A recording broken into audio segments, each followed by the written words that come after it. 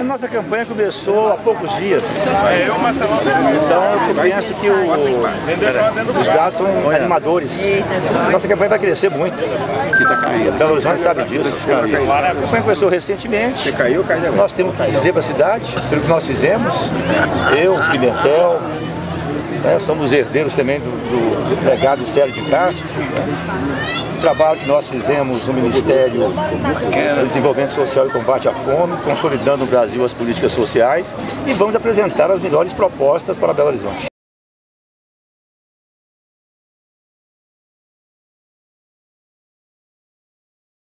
Ô, ministro, é, uma das principais críticas desse governo Márcio Lacerda é essa questão da verticalização. E hoje, inclusive, falaram que o senhor que fez aquelas ADS ali na Pampulha, o senhor, enquanto prefeito, vai combater a verticalização na Pampulha ou vai dar continuidade a esses projetos de hotéis que estão...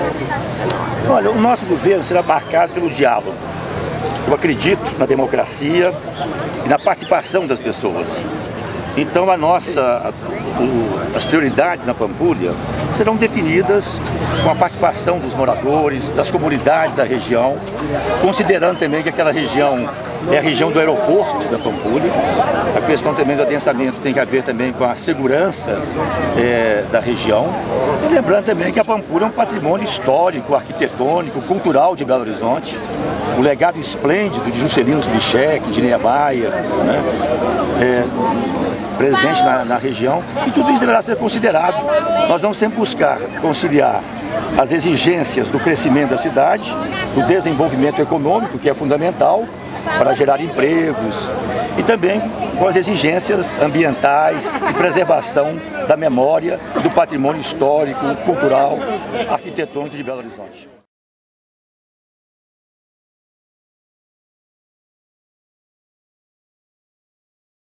Patrus, em relação ao OP, no levantamento que eu fiz, é, você tem mais obras que o Márcio Lacerda e além de ter mais obras, o, ele teve grande, grande quantia de dinheiro do PAC. Como é que você vê esse perfil diferente? Você pode dizer que ele realmente esvaziou o OP? Olha, eu penso que nós podemos retomar e ampliar o OP, o, sobretudo Boa. o caráter deliberativo. O OP, em grande medida, tornou-se um, tornou-se consultivo, né? E nós queremos que a população democraticamente decida com a prefeitura quais são as prioridades. Ninguém melhor do que as pessoas que moram nos bairros, nas vilas, é, para definir quais são as prioridades é, dessas regiões. Então nós vamos é, ampliar, consolidar o OP e também, como eu disse, avançar na perspectiva do planejamento participativo. Não planejamento consultivo, mas possibilitar que as comunidades também tenham voz e tenham vez e ajudem a prefeitura a tomar as melhores decisões.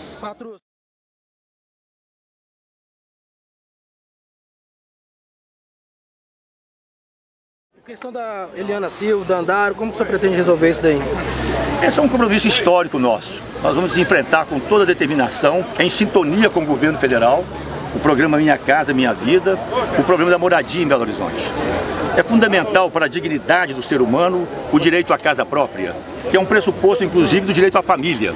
Então nós vamos conversar, como sempre conversamos, com essas comunidades e vamos trabalhar com muito empenho, com muita determinação, em sintonia com o governo federal, no caso especificamente o programa Minha Casa Minha Vida, para garantir à população de Belo Horizonte o direito à casa própria.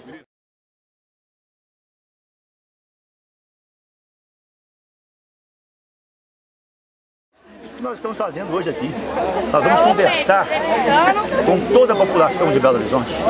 Nós vamos andar pelas ruas de Belo Horizonte, pelos bairros, pelas comunidades, Pimentel, eu, todos os nossos companheiros, Aloysio, nossos companheiros de chapa. Vamos ouvir a população, vamos resgatar o que nós já fizemos por Belo Horizonte e fizemos muito. Vamos dar continuidade ao que está sendo feito, vamos ampliar, aperfeiçoar e vamos inovar. Vamos enfrentar os novos desafios que Belo Horizonte coloca hoje.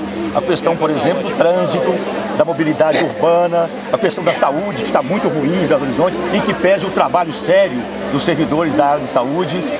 Está faltando política pública mais vigorosa, integração das políticas sociais. Vamos avançar, vamos conversar com a população de Belo Horizonte, vamos crescer. Eu tenho muita convicção de que nós vamos ganhar essas eleições.